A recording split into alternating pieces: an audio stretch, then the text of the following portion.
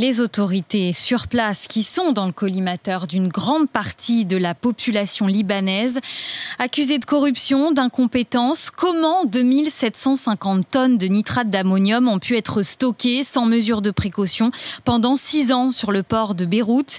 Il y a beaucoup d'amertume, de la colère même. Mathias Tesson, vous êtes l'envoyé spécial d'RMC et de BFM TV.